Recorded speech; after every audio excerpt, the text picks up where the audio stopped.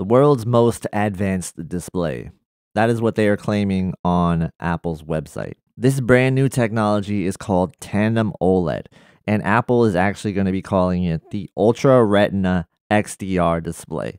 This is essentially two OLEDs stacked together to create a brilliant display that is going to give you high brightness and high efficiency. So this is not going to be an OLED TV.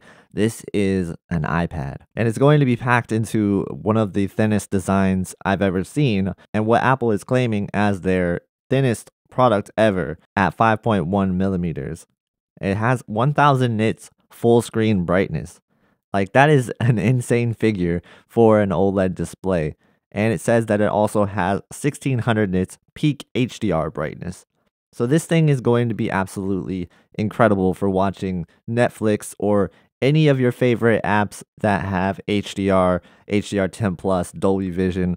I think is just an incredible display. I'll be picking it up myself because I'm not only going to be utilizing this for uh, entertainment enjoyment, but I also think it's going to be a great creation tool as well, which I'll talk about in just a second. And the display itself is capable of 10 to 120 hertz refresh rate, so it has a variable refresh rate that can adjust depending on what you're watching or depending on what you're doing to conserve battery life. It also makes full usage of the P3 wide color gamut, which is a nice thing to have when you're talking about a OLED display. You want to be able to watch the content and see the color displayed uh, properly, and P3 is where you will want to be for your color space in most content. And what's also interesting is that they are saying that there's a reference mode for color accurate workflows. So, for anybody that is in the pro field, you may be able to utilize this within your workflow. Um, and that's a very exciting thing. I personally do some video editing and graphics design work myself, so I'm very excited about this product. It is a product that I was probably going to buy either way but I am excited to cover it on this channel and I hope that you guys are excited to hear about it. And you're probably wondering who's making this display? Well, it's either going to be LG Display or Samsung Display. They both have been developing tandem OLEDs for a little bit now and it's been rumored that they're going to be working with Apple for their iPad Pro. So it's probably either going to be from LG Display or Samsung Display but essentially they're the same type of tandem OLED panel. So on top of the display, it's also going to be using Apple's most advanced chip yet thus far, and that is the M4. And Apple's M series processors are always going to be really good, really efficient, and for the price, it's going to be hard to beat this performance. On top of that, they have made updates to a lot of their productivity apps, which is going to make the iPad even more of a treat to use. Um, and I'm actually really looking forward to it. If anybody is an artist or um, in the creative field, then you'll be happy to know that they also redesigned the Apple Pencil as well. And this thing can kind of replace a laptop for a lot of people, as it does also have the option to use the new Magic Keyboard.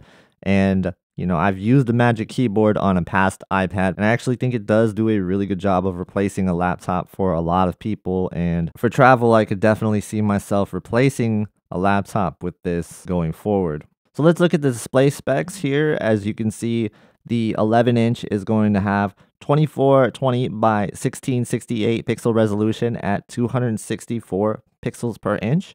And then the 13 inch is going to have 2752 by 2064 pixel resolution at 264 pixels per inch. You got the same pixel per inch. So if you factor that into your decision, you know, just get the one that kind of fits you the best. And aside from the actual display size, it doesn't look like there's any difference between the 11 inch and 13 inch model as far as the display goes.